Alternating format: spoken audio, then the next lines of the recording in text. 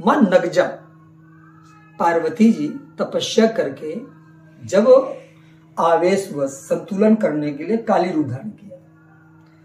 तो काली के बाद भगवान ने काली शब्द का कई बार संबोधन कर दिया। श्याम वर्ण होने के कारण तो उन्होंने काली रूप धारण कर लिया था, क्रोध करके और दुष्टों का वध किया। उसके बाद उन्होंने महान तप किया और तप के प्रभाव से वो गौर वर्ण हो गई तो उन्हें महागौरी कहा गया है।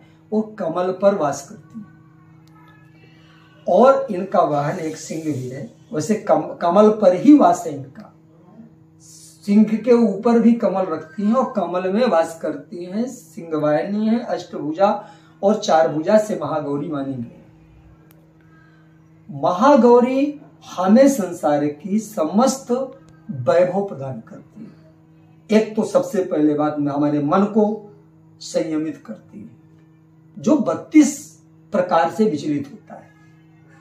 हमारे बुद्धि को जो महातत्व कहा जाता है, जो सृजनात्मक और परमात्मा के आवागमन से मुक्त करता है।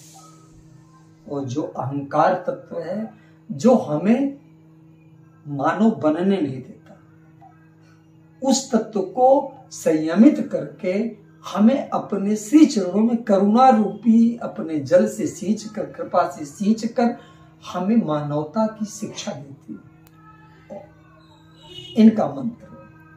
महागौरी का मंत्र तो परिपूर्ण पूर्ण मदा पूर्णमदम पूर्णा, पूर्ण दक्षते पूर्णश पूर्णमादाय पूर्णमेवावशिष्यते महागौरी का मतलब है पूरे ब्रह्मांड की एक सूत्रधार लेकिन मंत्र सबका नवार्ण ही है, क्योंकि उसी से सबका प्रादुर्भाव है, और मंत्र है इनका ओम, ऐं, ह्रीं, क्लीं चामुंडायै बिच्छे ये मंत्र है।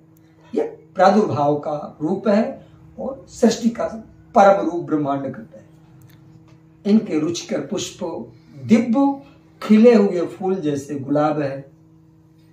उसी तरह के कुछ एक नवीन पुष्प चलते हैं जो आजकल बहुत कम यहाँ पर हम नाम जानते हैं, नाम ही हम नहीं जानते। लेकिन कई तरह के पुष्प अच्छे होते हैं। जो पूर्ण खिले होते हैं, जैसे गेंदा का बड़ा पुष्प हो गया, कमल का हो गया, रक्तिम कलम जो गुला गुलाबी कमल होता है ना, इस तरह के पुष्प कमल की प्रजाति और कमल की तरह गुलाब की प्रजातियों में, समस्त प्रजातियाँ इन्हें पसंद है और साथ में अपराजिता और कनैल। कनैल भगवान शिव को प्रसन्न होने के कारण मामा भगवती महागौरी को कनैल, मदार, नीला और सफ़ेद दोनों और आपका धतूर दोनों तरह के तीनों तरह के काला नीला और सफ़ेद। भगवती को बड़े प्रिय। भोग।